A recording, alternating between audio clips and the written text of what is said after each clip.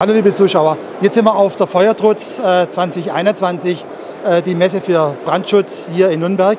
Und bei mir ist der Herr Ralf Wolters, der Wolter, Vertriebs... ohne S. Der Herr Ralf Wolter, okay. Herr, Herr Wolter, was stellt Ihre Firma her? Was ist Ihr Business? Äh, unser Business ist im Großen und Ganzen Rauchmelder, Standalone-Melder und funkvernetzte Rauchmelder, die wir herstellen. Unter anderem stellen wir auch Gateways her, sodass der Häuslblauer, oder wir haben ja viele, gerade in Außenbezirken, viele Häuser, dass er die Möglichkeit hat, ähm, sich eine funkvernetzte kleine Anlage aufzubauen. Ich sage mal, wie eine Brandschutzanlage für den kleinen Mann, für den Häuslebauer. Gibt es jetzt immer noch Leute, die sich um so Brandmelder drücken? Das ist ja Pflicht seit einigen Jahren.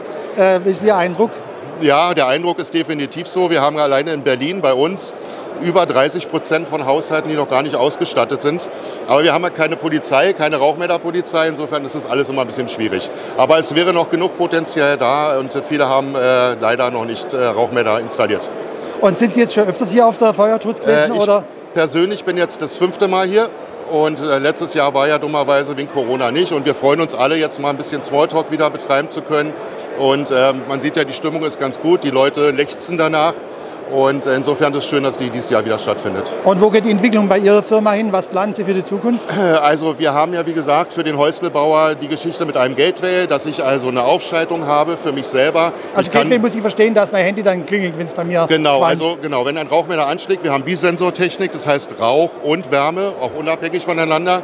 Und wenn der Rauchmelder angeht, dann bekomme ich über mein Smartphone oder über mein Tablet sofort eine Nachricht und kann lokalisieren, im Schlafzimmer, im Wohnzimmer ist der Rauchmelder angegangen, weil zu große Temperaturen oder Rauch ist in die Rauchkammer und habe die Möglichkeit, entweder Feuerwehr, Nachbarn äh, zu informieren, dass mal geguckt wird. Kann ich mit Ihrem System auch direkt Alarmschleife auslösen bei der Feuerwehr?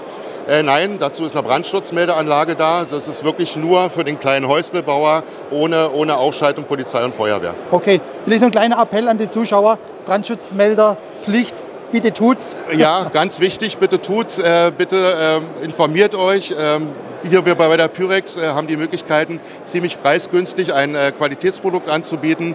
Und äh, jeder, der noch keinen Rauchmelder unter der Decke hat, sollte es tun, weil es rettet einfach Leben.